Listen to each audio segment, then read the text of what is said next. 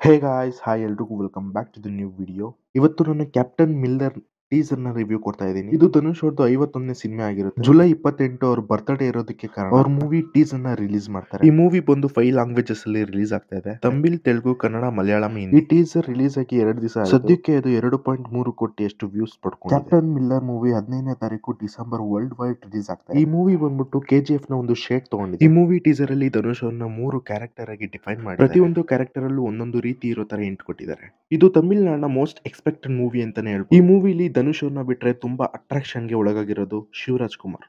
S ಈ ಮೂವಿಲಿ ಶಿವರಾಜ್ ಕುಮಾರ್ ಅವರು ಕೂಡ ಆಕ್ಟ್ ಮಾಡ್ತಾ ಇದ್ದಾರೆ. ಅವ್ರ ಕ್ಯಾರೆಕ್ಟರ್ನ ರಿವೀಲ್ ಮಾಡಿದ್ದಾರೆ ಹೊರತು ಅವರ ಕ್ಯಾರೆಕ್ಟರ್ ನೇಮ್ ಇನ್ನು ಸೀಕ್ರೆಟ್ ಆಗಿ ಇಟ್ಟಿದ್ದಾರೆ. ಇಲ್ಲಿ ಸ್ವಲ್ಪ ಕನ್ಫ್ಯೂಸ್ ಮಾಡೋದೇನಪ್ಪಾ ಅಂದ್ರೆ ಕ್ಯಾಪ್ಟನ್ ಮಿಲ್ಲರ್ ಅಂದ್ರೆ ಶಿವರಾಜ್ ಕುಮಾರ ಇಲ್ಲ ಧನುಷ ಅಂತ. ಈ ಟೀಸರ್ ಅಲ್ಲಿ ನೋಡಿದ ಹಾಗೆ ಜನರು ಸೈನಿಕರ ವಿರುದ್ಧ ಭೂಮಿಗೋಸ್ಕರ ಹೋರಾಡ್ತಿರೋ ತರ. ಇತ್ತೀಚೆಗೆ ಡಾಕ್ಟರ್ ಶಿವರಾಜ್ ಕುಮಾರ್ ಅವರು ಕಾಲಿವುಡ್ಗೆ ಎಂಟ್ರಿ ಕೊಡ್ತಾ ಇದ್ದಾರೆ. ಬರೀ ಇದೊಂದೇ ಫಿಲಂ ಅಲ್ಲ ತಮಿಳ್ನಾಡು ತುಂಬಾ ಇಷ್ಟಪಡುವಂತ ರಜನಿಕಾಂತ್ ಅವ್ರ ಜೊತೆ ಡಾಕ್ಟರ್ ಶಿವರಾಜ್ ಕುಮಾರ್ ಅವರು ಆಕ್ಟ್ ಮಾಡ್ತಾರೆ ಆ ಫಿಲಂ ಗೆ ಇವಾಗಿಂದಾನೇ ಕ್ರೇಜ್ ಸ್ಟಾರ್ಟ್ ಆಗಿದೆ. ಇನ್ನ ಹಲವಾರು ಆಕ್ಟರ್ಸ್ಗಳು ಅದರಲ್ಲಿ ಇದ್ದಾರೆ ಆ ಫಿಲಂ ಬೇರೆ ಯಾವುದೂ ಅಲ್ಲ.